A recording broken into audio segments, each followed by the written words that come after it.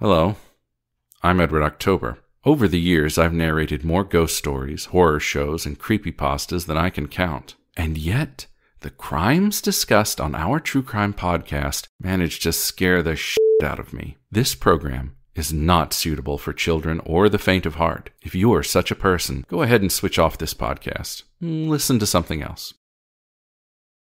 Are you still with us? Well, we've warned you.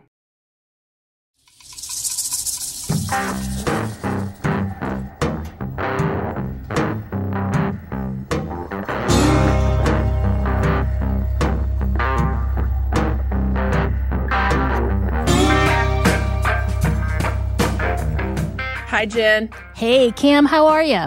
I am fantabulous. And Woohoo. yourself? I'm doing well. Doing I pretty good? am. I am. Things are great. Mm-hmm, mm-hmm. Fall's coming. I'm happy about that little Fall's chilly weather. coming. Ugh. Yep, it is getting a little chilly. I love that too. Um, homecoming's next weekend, but girls got their dresses. It was a feat. That's great. Ready to go. Ready to rock it. and roll. well, here you have, so, I have a little. do. Okay, I can't talk right now. I I, hear you have a little case for us. I do. I do. This is. I know you'll remember this. There's. This was. There's a made for TV miniseries. It was like a two part series back in '92. starring Kelly McGinnis or McGillis. Oh. Sorry, Kelly McGillis, Harry Hamlin, Keith Carradine. I do. I know exactly what this is. Uh huh. And that's this is what we're going to go today. It's based on a book that I actually found a few years back in a thrift store, and we sold the hell out of it when we were in the bookstores. I just watched this made for TV movie not that long ago. did you? yeah, Awesome. I'm a nerd. All right. Yes, you go. are. All righty. Okay. All right.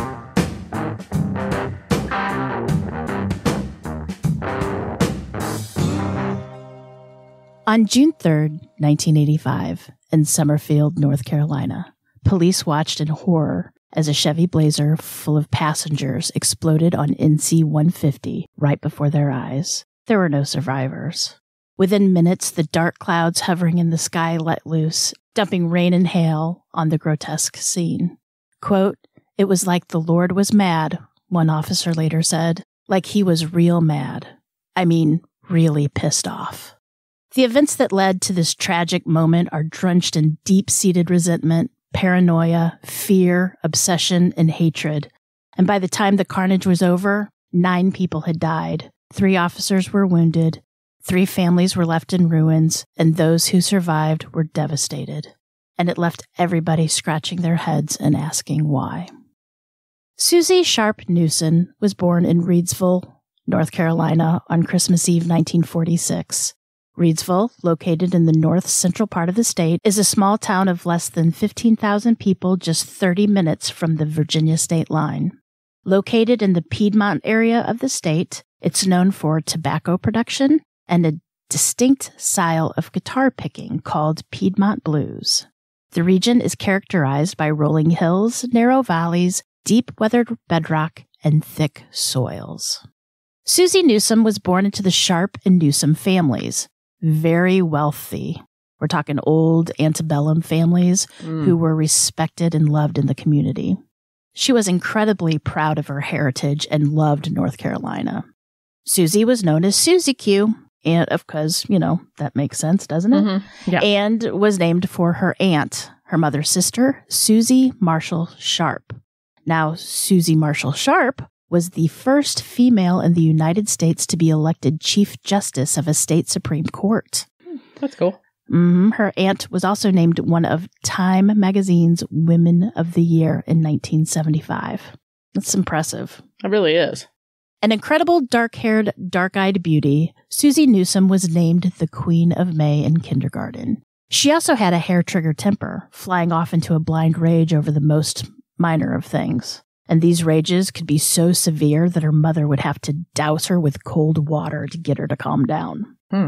She was spoiled because her wealthy, doting parents, Robert and Florence Newsom, were concerned that their daughter might not survive childhood because of a heart murmur so they gave her whatever she wanted. Intelligent and a straight A student, Susie enrolled in Wake Forest College and was named fraternity sweetheart. While there, she met a basketball player by the name of Tom Lynch, and the two began dating. Tom also came from money. His parents, Chuck and Dolores Lynch, were originally from Pittsburgh. His father there was an accountant for General Electric, and by the time he retired, Tom's father was a millionaire. Money, money, money, Money, money, money. Mm-hmm. The Lynch family ended up in Louisville, Kentucky, and some reports say Dolores never really took to Kentucky, but her neighbors said that she was as lovely as possible.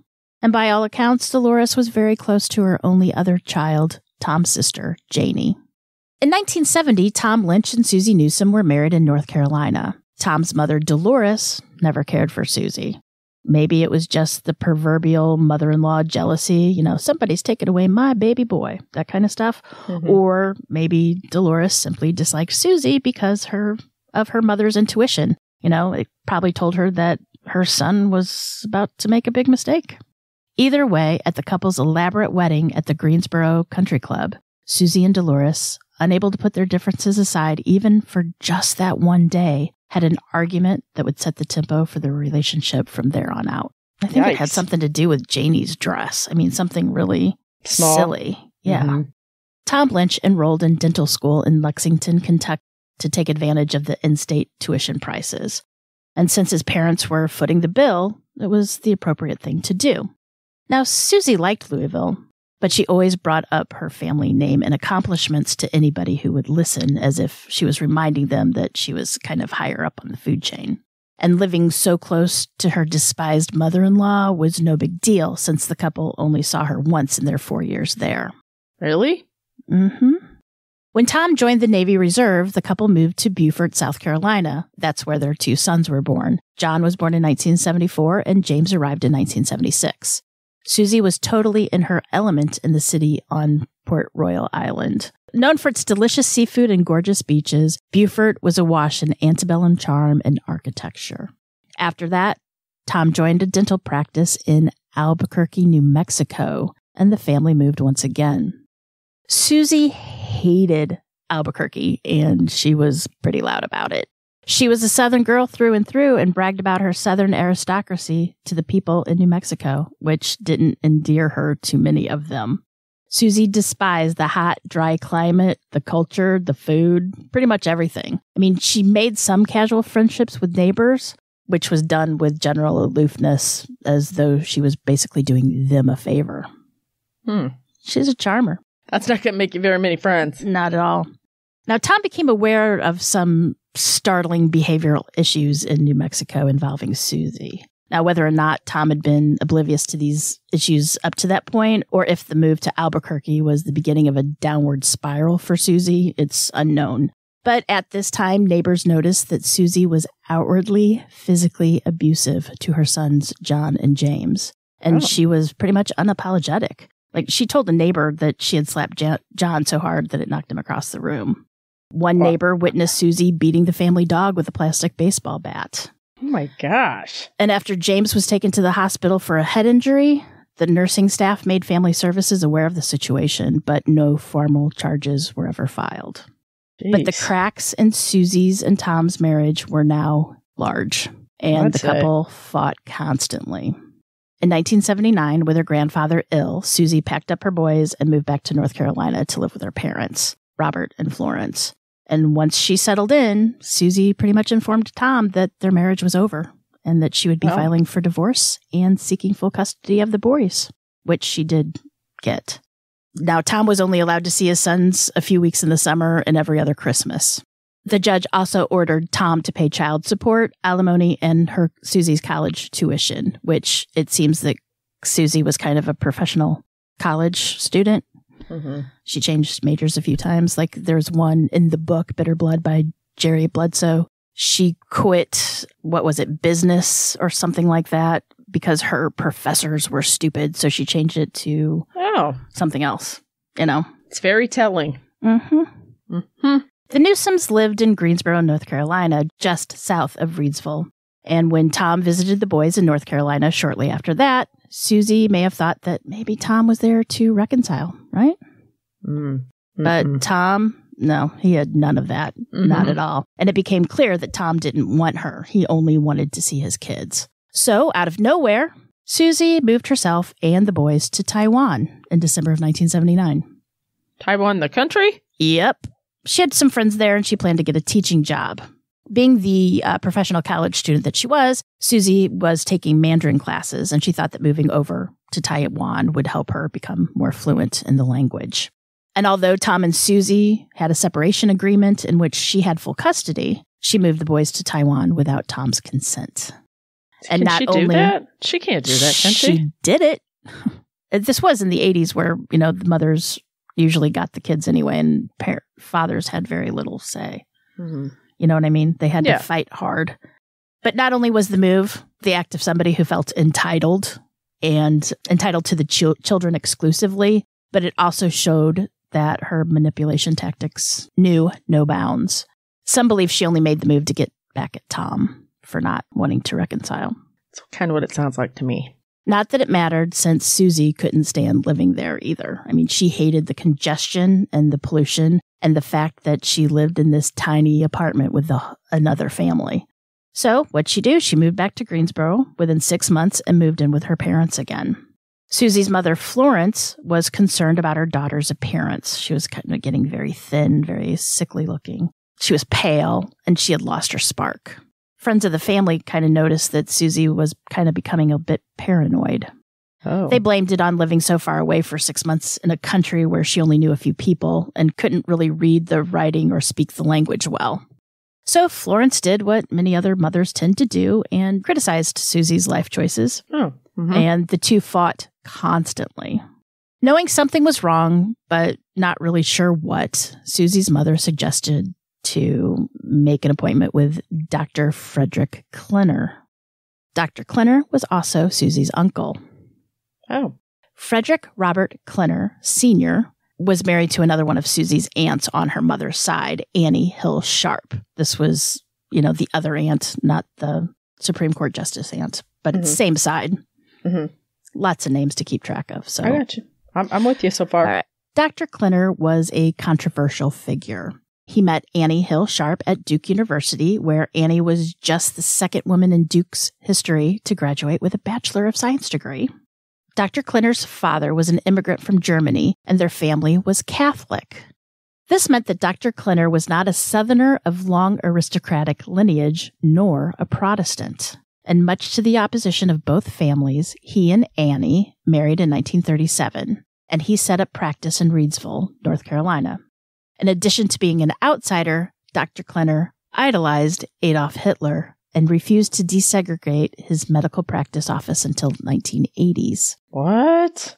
Dr. Klenner was controversial in many other ways as well. He pushed vast quantities of vitamin C and vitamin B12 onto his patients and declared he cured them of all illnesses that they might have had or might not even have had in the first Hmm. place. Mm-hmm. One disease he supposedly cured with vitamin C shots for some of his patients was MS, cancer. Yeah, Oh. He's- No. He's kind of like a duck. He quacks. Anyway, Yeah. his son, Frederick Robert Klenner Jr., known as Fritz, was born in 1954 and the first cousin to Susie Newsom. Fritz was handsome with a shock of dark hair and a thick, full beard, but he could never entirely live up to his father's standards. While he wanted to be a doctor like his father, his grades just weren't there and they began to slip.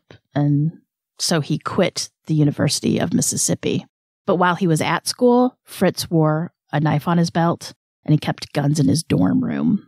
And at the time, Fritz also began to make up stories about being a covert operative for the CIA and the FBI. Oh. Mm-hmm. Fritz and his father both shared a love of military grade weapons and a hatred for communists that bordered, pretty much bordered on obsession. So Fritz moved back home to Reidsville and lied to his family about graduating college. And when the, the his diploma never arrived, Dr. Klenner confronted his son, and Fritz was full of excuses as to why, you know, why he had lied, why, you know. Mm-hmm. Mm-hmm. So Dr. Klenner gave him a job at his clinic as an aide, and the patients loved him. Shortly after, Fritz lied to his parents again about having sorted everything out with the University of Mississippi and that he was now accepted into Duke University, just like his father. Mm. And once again, his parents believed the lie. His father even went so far as to give him money for tuition and living expenses. So they And- didn't check up on that, knowing his Mm, background. They no. just believed Mm. him. No, for several years. For years. Yeah, I guess that's because you want to see what you want to see. exactly. When it finally came crashing in and his father finally discovered the truth, Dr. Klenner just put Fritz to work in his clinic full time rather than to humiliate him or admonish him. Yeah. Oh, okay. Yeah. Many called Fritz young Klenner, but there were a few that called him Dr. Crazy. Well, okay. Mhm. At this time, Susie Newsom Lynch started attending Dr. Klenner's clinic. She began taking vitamin C shots and started to become more paranoid and obsessed with germs, and even made the boys start to take the vitamins. While Susie and Fritz knew each other since they were first cousins, the two had not been very close growing up. Well, for one reason, Susie was almost eight years older than Fritz, and for another reason, to most of the extended Sharp family, Dr. Klenner was strange and unpalatable. So most of the Sharps avoided Dr. Klenner and Annie's branch of that family. And honestly, this didn't bother Dr. Klenner, who preferred his isolation. If nobody ever came to visit him, he wouldn't need to explain why he had big blankets covering all the windows or why there was Nazi memorabilia, swords, and guns decorating the house. And this is in the 70s and 80s, right? hmm hmm Ooh. Okay. or why there was so much clutter everywhere that there was no place to sit. But at this point in Susie's life, Fritz was precisely what she needed. And it's not publicly known of what made Susie trust Fritz, but the two quickly became very close. Mm-hmm. Very close. Oh. He sometimes would be found sleeping on the family's couch in the morning. Oh. Fritz regaled Susie with wartime stories of the Vietnam War, even though he'd never been in the military.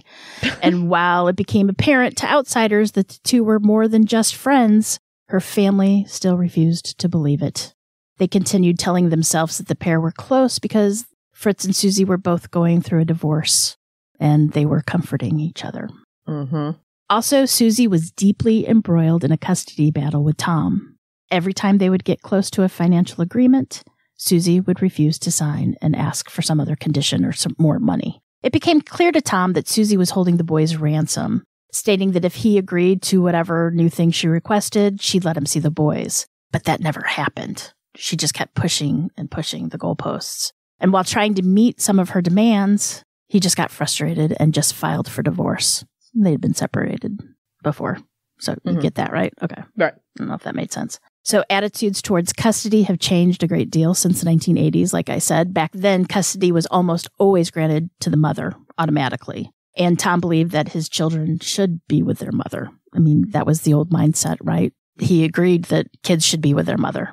He never wanted to take them away from her ever. He just wanted her to agree to a financial settlement, a decent chunk of visitation time, and he just wanted to move on with his life. This was going on for years.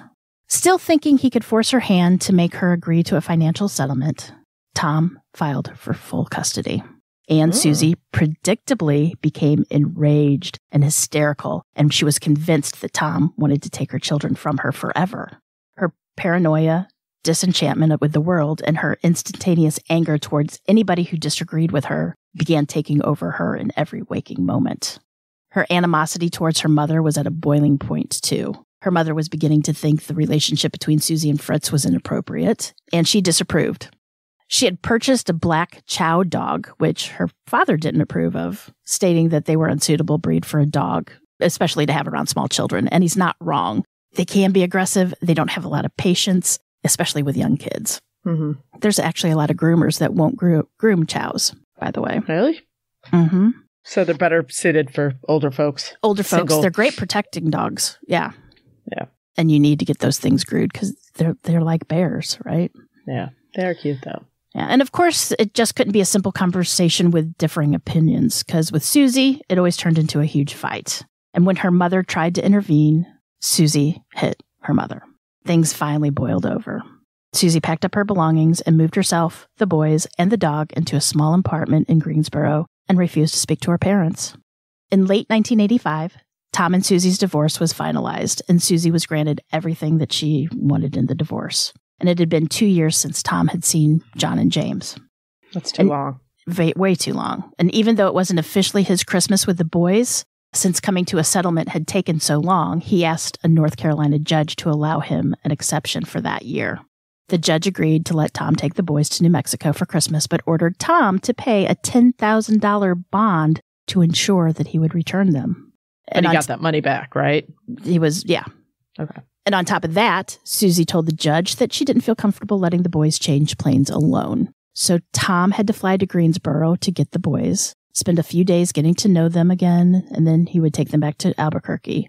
And then, when it was done, he would fly them to Atlanta on a return flight where Susie would meet them and Mhm. then go back to home.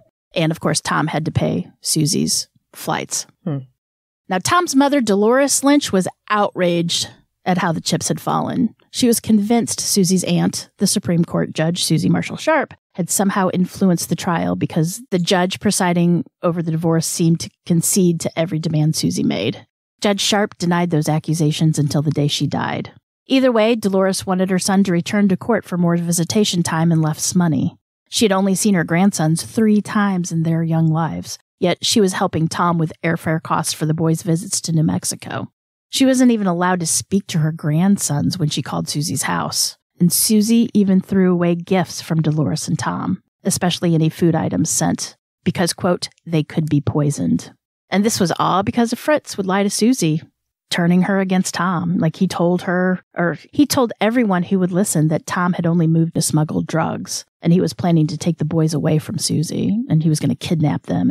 And of course, Fritz would say he knew all this because of his connections to the CIA. Mm-hmm. But don't tell anybody. Mhm, Right. mhm. At this point, Susie also wouldn't allow her mother to see John and James, no matter how hard Florence tried. And with Fritz living in Susie's apartment, they fed off each other's paranoia, and the Newsom could no longer deny, at least privately, the context of her daughter's relationship with Fritz privately. In the meantime, Fritz was spending time in gun shops, and he would talk about his time in the war, being in the CIA, which were all lies, we know. He'd talk about cyanide and making pills out of cyanide, Mm. you know, did that normal things that you talk Mhm. about. Yeah. Mhm. He also spoke about people that he didn't like, right? People who Oh. spoke ill of him or his dad, Oh. minorities. Susie's parents were also on that list. Oh. And two men who knew Fritz didn't believe a word he spewed, but they did look into him a bit. And when they did check him out, they discovered that Fritz didn't have his medical license, even though he was practicing medicine at his father's practice. And they told the police, and essentially nothing was done. And when it came time for Tom to have the boys for spring break, Susie tried to cancel the visit, but Tom got a court order, and Susie, having no choice, sent the boys to Tom in New Mexico for their scheduled visitation. When the boys got off the plane, Tom was kind of shocked. Tom was there with his new wife, Kathy. They were both shocked. The boys were gaunt, they looked malnourished, and their clothes were ill fitting. Oh. And in addition, they came with a bag of vitamins that their mother had sent with them. Tom, of course, immediately threw the vitamins out and bought the boys new clothes and shoes. And the boys talked about their Uncle Fritz often and about how he took them camping and hunting. And this was new to Tom because he wasn't really aware of what was with what was happening back home with Susie. And the boys didn't tell their dad that they called Fritz Papa or that Susie and Fritz were dating, living together, dating Is it called dating when it's your cousin? when they're living together? I would think so. It's I Maybe guess just depends on where you live. I don't know. perpetual perpetual family reunion every Maybe. day. I don't, know. And anyway, that visit that was the best visit Tom had had with the boys in a long time. They went camping and they played outside. They spent time. The boys just spent time being kids, right? Mm-hmm. But it was during that visit that Tom received a phone call that would change his life and so many others' lives forever. On July 24th, 1984, Kentucky police called Tom, informing him that his mother, Dolores Lynch, and his sister, Janie Lynch, both were found murdered at the Lynch's home. What? Dolores was found by a friend who became worried when her calls to the house went unanswered. The friend unfortunately found Dolores dead in the driveway. She had been shot several times. It was apparent that she had been dead for at least a few days, and in the southern heat, this meant she had already begun to decompose. Janie, according to Kentucky newspapers, was found in a second floor dressing room, having been shot several times in the torso and once in the neck. Judging by the blood trail left throughout the house by Janie, it appeared that she had been trying to make it to the phone, presumably calling 911. And there was no evidence the bodies were moved or that they had been sexually assaulted. Authorities assumed that it was just a robbery since a few jewelry boxes had been rifled through, but nothing else in the house had been taken. Since Tom's father, Charles, had died about seven months prior, Janie had moved in with her mother and they had put in an alarm system. But uh, it appeared as though that it was the alarm system was not on at the time of the murders. There were no shell casings left at the crime scene either. To authorities, the murder of the Lynch women was beginning to look like more of a professional hit, but they Mhm. just didn't know why. There's no reason to kill these two women. And um, Tom was questioned, but he was cleared. Authorities posted a $10,000 reward for information, but no information ever came. Tom Lynch was devastated. He lost his whole family. His father had died seven months prior, like I said, and now his mother and his only sibling had been brutally murdered. All he had left at this point were his boys. He called Susie in North Carolina and begged her to let the boys stay a little longer so they can grieve as a family. And sim- Susie simply said that no, can't, hung up. No, can't. She simply said no. I'm I'm making up. I know, Yeah. but I'm just like, She's something. that's heartless. hmm The boys, well, she's thinking Fritz is telling her he's kidnapping her. He's kidnapping the kids. I mean, you know, the boys cried and hung to their father at the airport. They didn't want to leave either, but there was nothing Tom could do. I was going to say, poor things probably got solid food. They Uh-huh. didn't want to leave. They weren't around. Crazy. That's or stress. I can't imagine how stressful that household was. After the funeral of his mother and sister, Tom reached out to his former in laws, Robert and Florence Newsom, in North Carolina. Tom was haunted by the condition of his sons the last time he'd seen them and was now convinced that he had to get more visitation and access to his boys. And in his correspondence with the Newsoms, the subject of John and James, of course, came up, and eventually the Newsoms agreed to testify in court on Tom's behalf. They agreed that the boys should spend more time with him, and they also agreed that the conditions that the boys lived in with Fritz and Susie were toxic. Now, calling themselves husband and wife, Susie and Fritz were being eaten alive by their paranoia. Their apartment had become like the older Klenner's home, with heavy blankets hanging on all the windows. Gun and ammunition were littered throughout the house, and war propaganda posters hung in the boys' room. Oh my gosh. Fritz and Susie now had two chow dogs who behaved aggressively towards outsiders. And this unfortunately alienated John and James from the other children even more since parents really don't want their children. They didn't want their children at the apartment because aggressive dogs, right? And John and James weren't allowed to go to their friends' houses. So the boys were just being isolated. When Dr. Fritz's father, Dr. Klenner, passed away, what uh, was a year prior though, Fritz kept seeing his patients after his father died Giving him shots. for a year, right? Given whatever, just being a doctor, practicing being a Mhm. doctor when he wasn't a doctor. And it wasn't until Susie's aunt, Susan, Justice for the state, she called a friend at Duke University to check on Fritz's school records. And sure enough, she found out that he had never even enrolled there. And Susan made some phone calls and got the practice closed for good. Good. So it took somebody of power to do something. He'll be mad now, though. Mhm. Fritz was given about $25,000 from his fa- father's estate, which is the equivalent of 84,000 today. But in less than a year, Fritz and Susie had spent most of the money on what you ask? Let me tell you. Weapons, survival Hmm. items, tents, knives, canteens, you know, vitamins, food rations, and uh, large amounts of cyanide. Oh.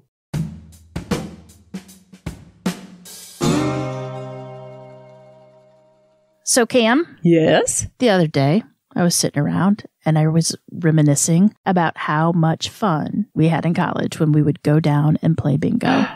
Oh, wow. we always had a blast, didn't we? We really did. Yeah, in fact, I was feeling so nostalgic for that that I went and downloaded the game Bingo Bash. No way. Yep, and little did I know that not only it's so much fun to play, but it's also one of the top free bingo games available to download. Oh my gosh, Jen, you're going to die. Guess what? I've been playing that game for a while now. No way. Absolutely love it. That's amazing. There's so many different bingo rooms with unique themes and so many unlimited twists on the basic bingo game. Yep. I mean, I cannot wait to get to the one called Case Closed. Have you heard that one? Ooh, no. Tell me more. So, you know, that's perfect for us because true crime related and all that. Mhm. In this game, you uncover hidden secrets. Ooh, I love a good hidden secret. Ooh, don't we all? Plus, I love how each room has a mini game where you can get rewards that help you bingo faster. Oh, those mini games really help me level up. They really do. And I'm telling you, Bingo Bash came in handy this weekend when I was out shopping for a homecoming dress with my youngest. Oh, I do. It helped me pass the time because you know how she is.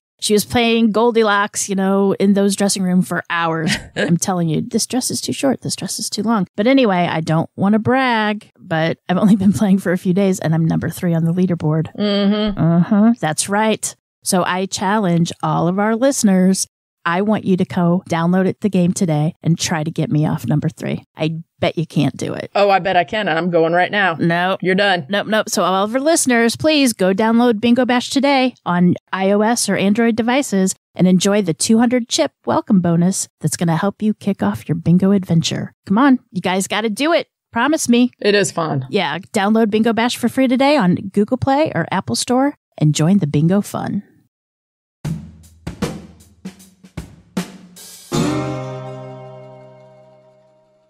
Hmm. Days before the custody hearing in which Susie's parents were going to testify on Tom's behalf, friends of the Newsoms went to check on the couple. And according to a newspaper from the time, family friends were concerned because they hadn't heard from them for a few days. It was May 19th, 1985, and Robert and Florence Newsom were selling their home and moving in with Robert Newsom's mother, Hattie, who was 85 years old, also known as Nana.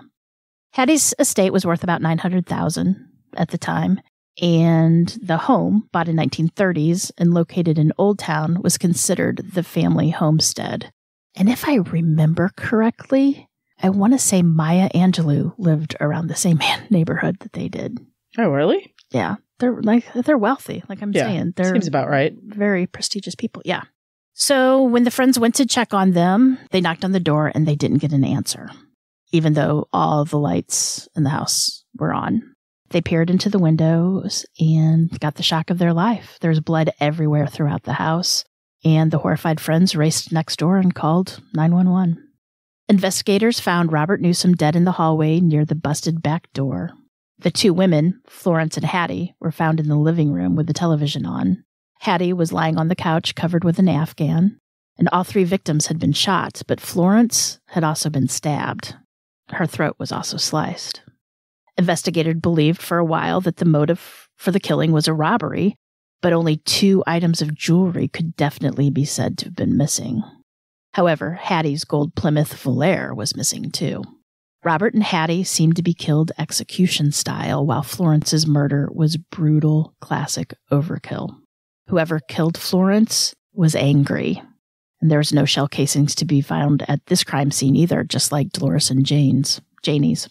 One thing investigators noted was that there could have been two killers since the bodies were close to each other. Hmm. Robert Newsom III, Susie's brother, found himself in the same boat Tom had just been in the year before. He'd lost his mother and his father and his grandmother to a deranged gunman. When Robert was questioned at the scene about who could have committed this crime, Robert III mentioned that his sister Susie's ex in laws had been murdered in Kentucky the previous summer.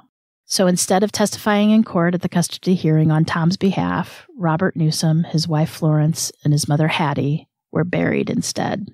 Now, Susie's was quite unaffected by the death of her parents and grandmother, and it's rumored that she inquired about the whereabouts of her grandmother's furs at the funeral. At the funeral. Mhm. Mm-hmm. Upon hearing the news in New Mexico, Tom immediately called the Kentucky state detectives to tell them what had happened. Kentucky detectives drove to North Carolina to comb through the murder scene and the case files to see if there was any clue to point to a connection to the murders of Dolores and Janie Lynch.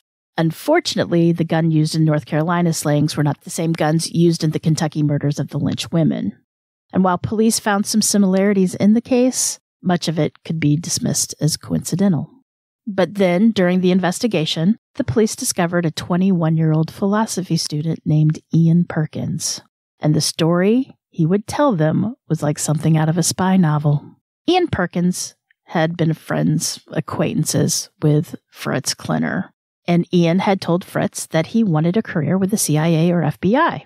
So one day, Fritz approached Ian and said that he would be more than happy to put Ian in touch with his contacts at the CIA. But he would need him to do just one small job first, kind Hmm. of like an audition of sorts.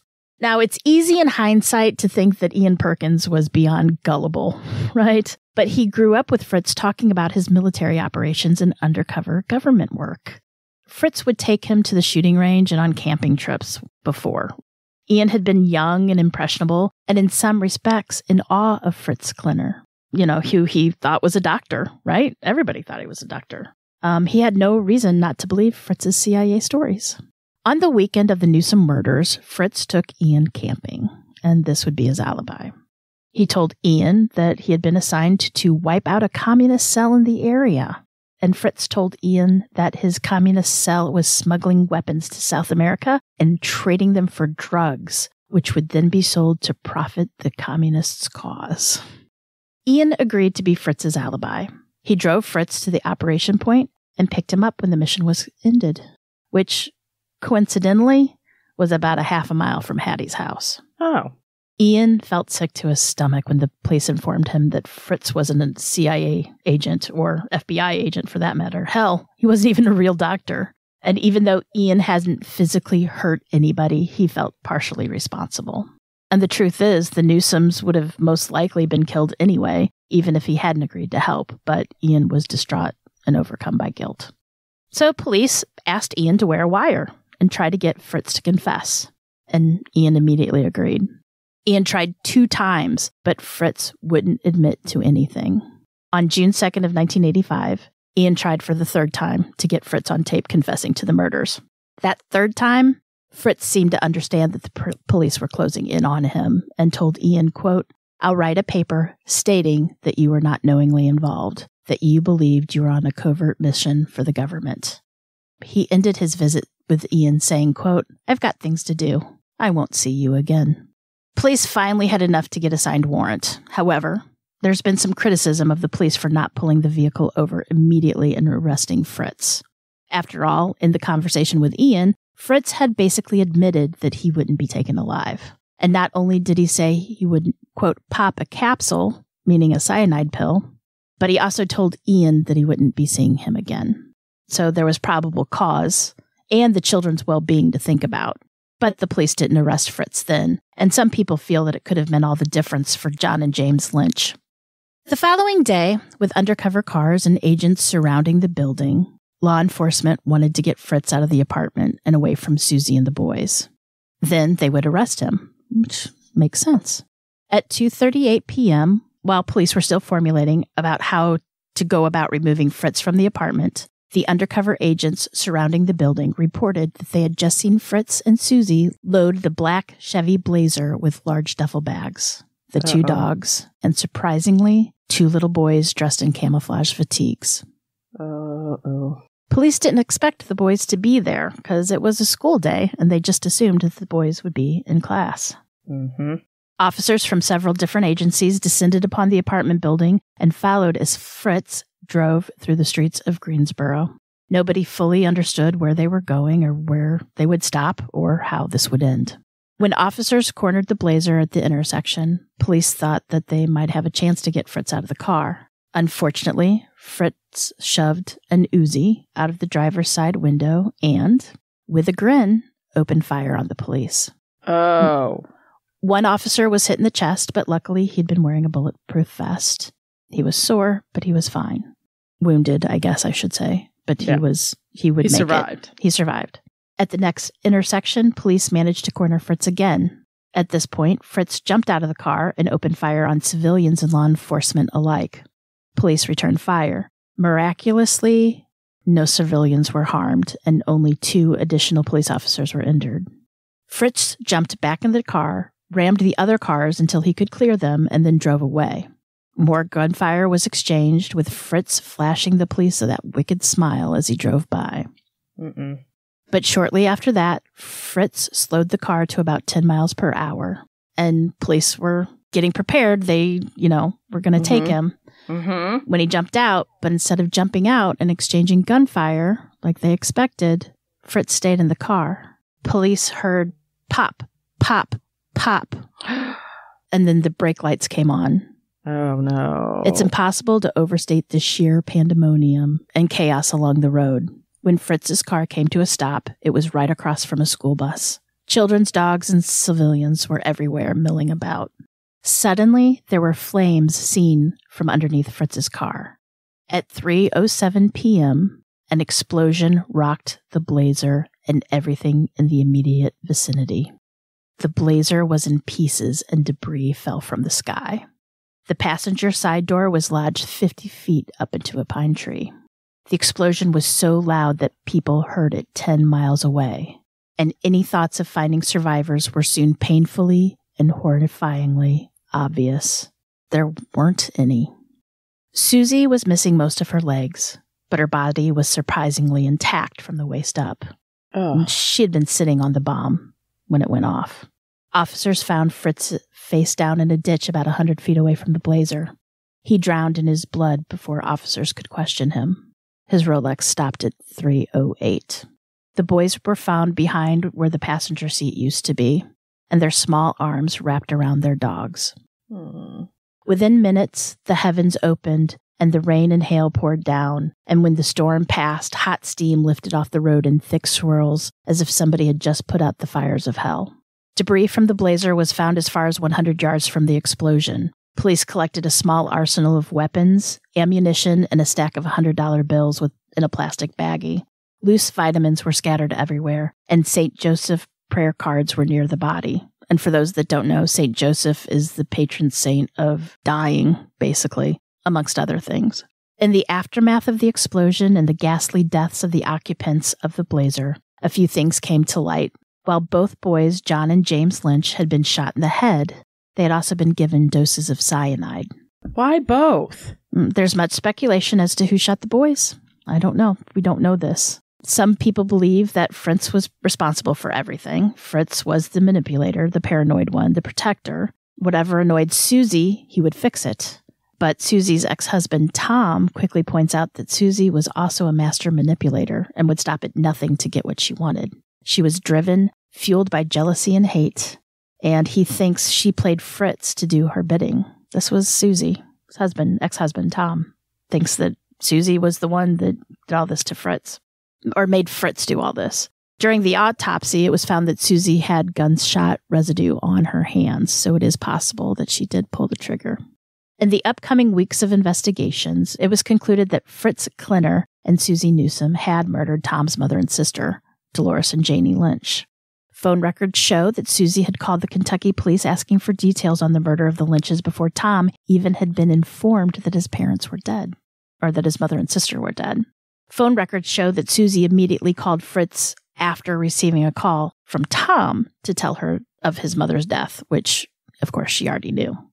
The gun used to kill Dolores and Janie was finally tracked down by Kentucky police. It belonged to Fritz and Susie, and the police could show that after the shootings of Dolores and Janie in Kentucky, the day after the murders, Fritz and Susie had sold the gun back to the dealers from who they originally bought it from. The gun dealer, located in Kentucky, said that he saw Fritz and Susie when they sold the gun. Susie was in Kentucky with Fritz when the Lynches were murdered. If Susie was an innocent bystander, she had ample opportunity to stop Fritz or even turn him in after the fact, but she didn't. And even though it's still speculation, Kentucky police think that Susie was the one to kill her mother in law while Fritz chased Janie throughout the house.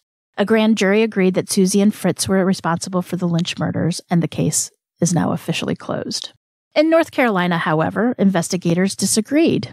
They believe that Fritz acted alone.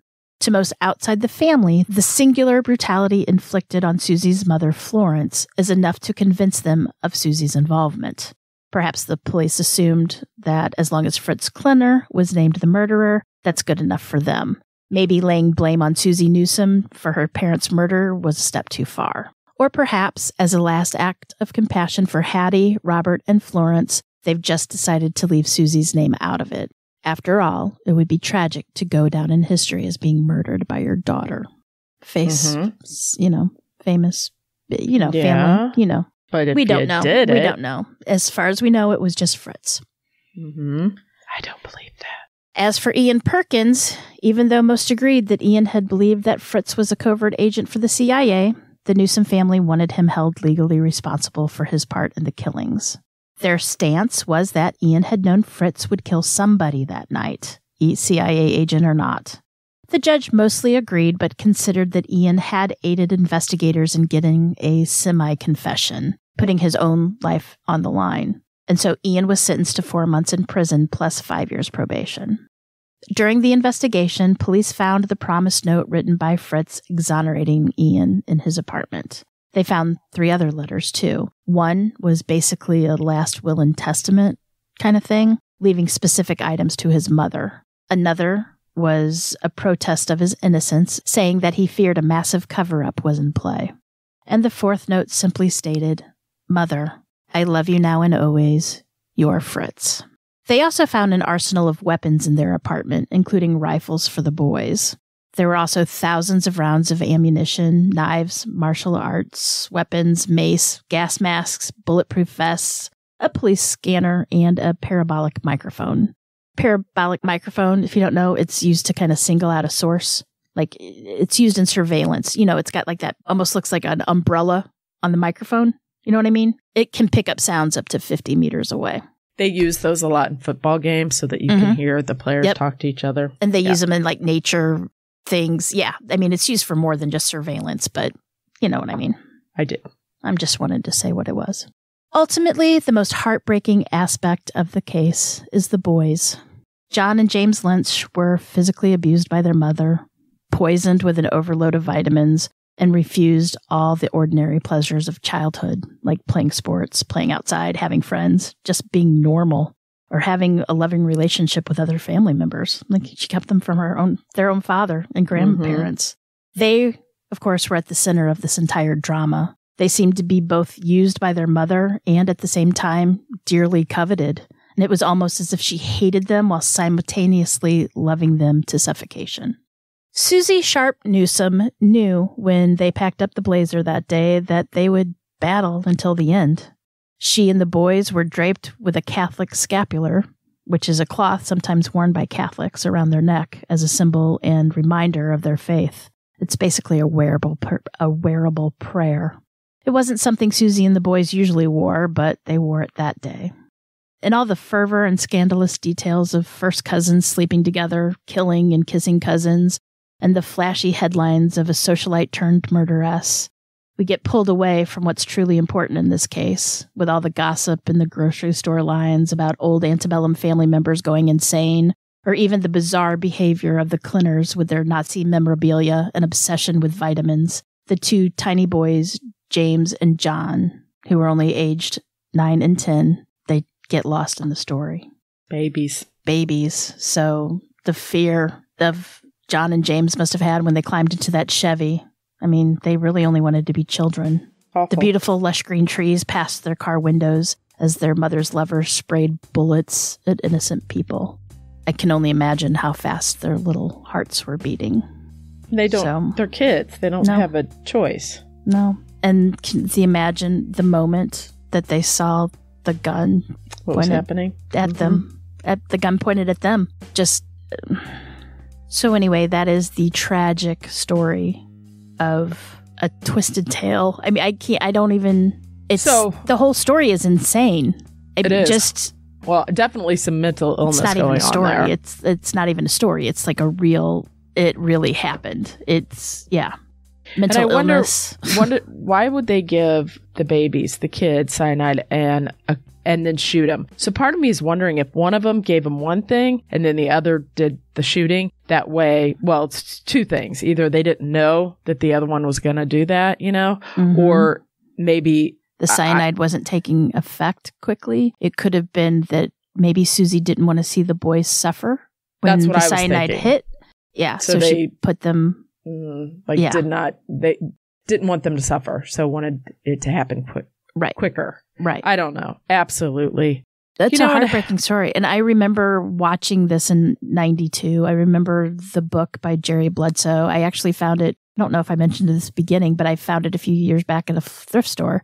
But it is ultimately one of the most bizarre just the journey the journey into the darkness and the paranoia and the whole thing is just Well, it's just two mentally ill people find each other you know? Mhm. So, like, if she would have found somebody else and he would have found somebody else, maybe this wouldn't have happened. I, They- I don't know. They egged each other on Yeah. and they just went in the downward spiral together. Yeah, I, it's just, and those two boys suffered. And Tom, of course, suffered. Uh, The grandparents suffered. They've lost their lives. Uh, You know, I mean, it's just, For what, though? That's the thing. Did they just, I, I don't know. I don't know. And we'll never know, really, because it, everybody's gone. Mm. Everybody's gone. I do remember So- Bitter Blood, the book, and I remember the Mhm. cover in the Yep. bookstore. I do too. I Wow. do too. Well, I of course I know it. I found it at the thrift, thrift store. I still have it. It's very well worn, by the way. That means it was read a lot Yeah. before it made it to the thrift around. store. Mm-hmm.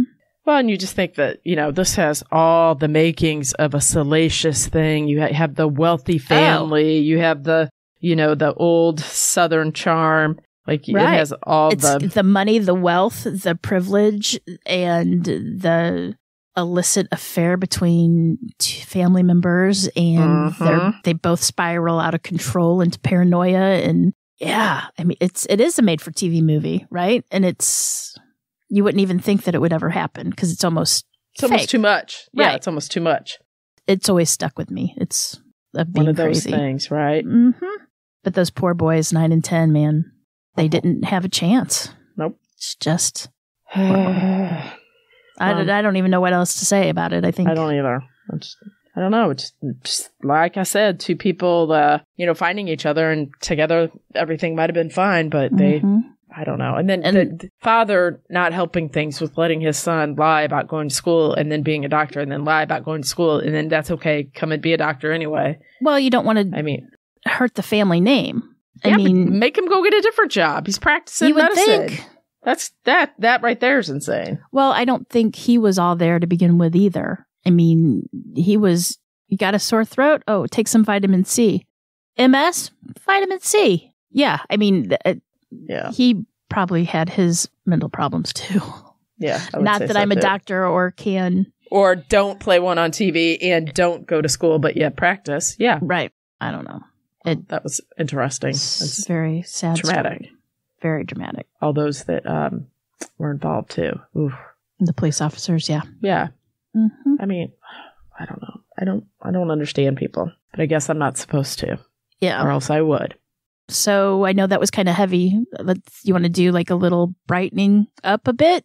Why don't Maybe. we? Do you have anything exciting that you're watching on TV? Maybe just do like, since this is kind of long, maybe do like a quick little. Well, I do. I, for the listeners that are around our age, you'll appreciate this. So Mhm. I started watching a movie this morning, and I'm only not even halfway through it, but it is so reminiscent of the 80s movies, and it's very reminiscent of Heather's. And it's some, I believe it's called Someone is in the House. And it's just kind of, I don't know. It's, I think it's sort of a mockery a little bit, but if you remember those movies from the 80s when I would go stay at Jen's house and we'd stay the night and watch scary movies and stuff. Mhm. This is, this reminds me of that, Oh, but it's, it's current, but it's, you know, so set they're, in the 80s? Ye- no, no, No? not even. It just reminds me of that kind of movie. Oh, got, like You a know, slasher? Uh, yes, kind of thing? yes, yes. And what's it called again? I'm sorry, it's called There's Someone in Your House. The graduating class at Osborne High is being targeted by a masked assailant intent on exposing the town's darkest secrets. So everybody that he's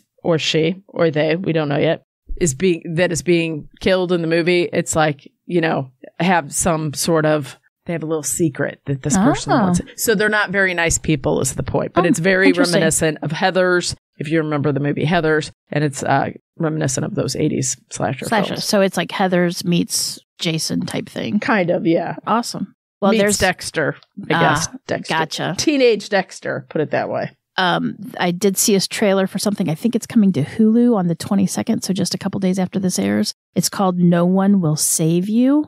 Oh, what's that about? It looks like it's some kind of alien, creepy, scary movie. Like, yeah, it's uh, my husband and I watched it, and he's like, "Ooh, it kind of reminds me of Signs." Ooh, I like signs. I watch night- signs once a year. Mhm. Yeah, it looks really, really good. Like there's at one point you hear like little footprints or like little tiny feet walking across the floor real quickly. You know what I mean? Mhm, It, it it looks really Yeah. good sound effects. Good, yeah. It's Mm. mostly shot in the dark. It looks really good. I'm looking forward to it. So I will be at my TV when that airs. Yeah, So- me too. Um, it is spooky season, and you know, It is. It is. I watched Scary Scary. Another scary movie I watched was called and what I recommended, I don't know. Check it out. It's an Australian film um, called Run Rabbit Run, and Oh, yeah. the, do you know what I'm talking about? The Yep. lady that stars in it was in Succession, so it Mhm. was interesting. It I held my hated attention. it. I You did not it. like it. Why not? I just did not like it whatsoever Oh, at all. I thought it was stupid. oh, okay. That's okay. That's Yeah, no. Yeah, no, I didn't Mhm. like it. Yeah, no. It- yeah, no. No, yeah. No, yeah. No, I, I thought it was dumb. And in fact, my husband's like, I need to watch this because he really loves Succession, you know, which I do too. But he like loves it, and he liked her character. He's like, I Mhm. need to watch it. And I'm like, Yeah, no, you don't. you don't need. to I don't know. It. I I try to.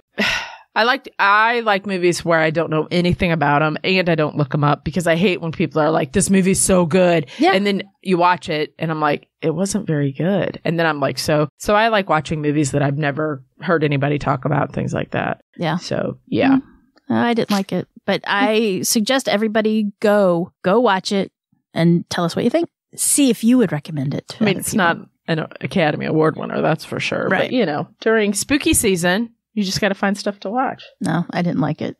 Speaking of M. Night Shyamalan, this is one I know I've been watching too many movies. He did a movie a couple years ago, and it was pretty good called Devil. Did you Mhm. see that? Yep. You did? With the Uh-huh. elevator? Yep, liked Yeah. it.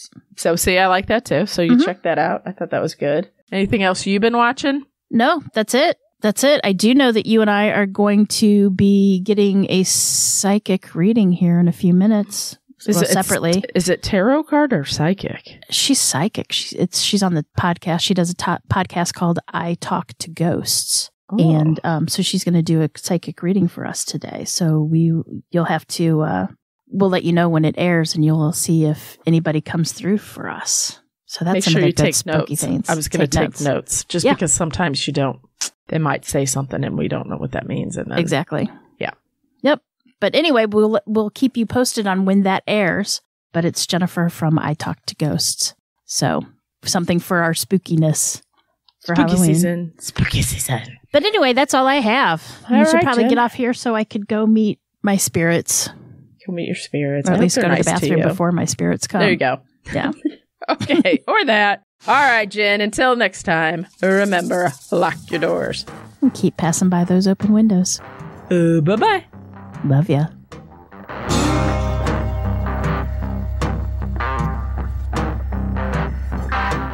For more information about this episode, as well as all other sources, please check out our show notes or the podcast website at ourtruecrimepodcast.com. Our True Crime Podcast is developed and created by the hosts, Jen and Cam. Original music and audio mix of all our True Crime Podcast episodes is courtesy of Nico Vertese from We Talk of Dreams. You can reach Nico at wetalkofdreams.com. Listener discretion is provided by Edward October from Octoberpod VHS. You can find all of his great works on YouTube. Please make sure to like and subscribe to our True Crime Podcast wherever you listen to your podcasts. We can be reached on Instagram and Facebook at True Crime Podcast or on Twitter with the handle at Our True Crime Pod. You can also email us at ourtruecrimepodcast at gmail.com. We would also at this time like to thank our patrons. We would be so lost without you. Thank you so much. And if you would like to help support the show, you can check us out on patreon.com slash our true crime podcast. You can also show your support by leaving a five-star review on Apple or simply just tell your friends about us. It's that easy. Love ya.